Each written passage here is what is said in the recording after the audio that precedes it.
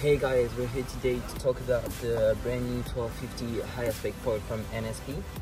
Well, uh, let me first say that um, this foil is the, my go-to setup, so I use it in every conditions, whether I'm winging, I'm downwinding, or even when I'm surf foiling. This 1250 can seem a little small for uh, foiling, but thanks to the high aspect ratio, uh, it offers great efficiency and a lot of lift so that even in a really low speed or light wind you can actually uh, foil with it. As you can see it is pretty wide and large but uh, it also turns really well.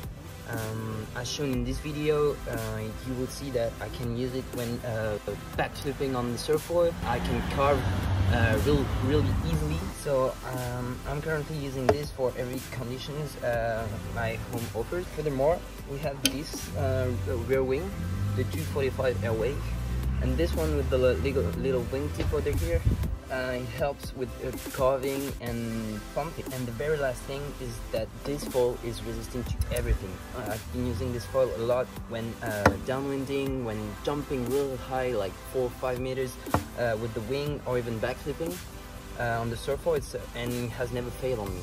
Like I've never had any breaks or anything and I know that uh, when I'm going out on the water with this I'm really I'm, I'm always confident